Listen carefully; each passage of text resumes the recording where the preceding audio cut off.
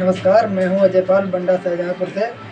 आज नगर बंडा में माननीय श्री चेतराम विधायक के द्वारा विकलांगों को साइकिलें वितरण की गई। आज ब्लॉक बंडा में विकलांग लोगों को माननीय श्री चेतराम विधायक जी और ब्लॉक प्रमुख जी के द्वारा साइकिलें वितरण की गई।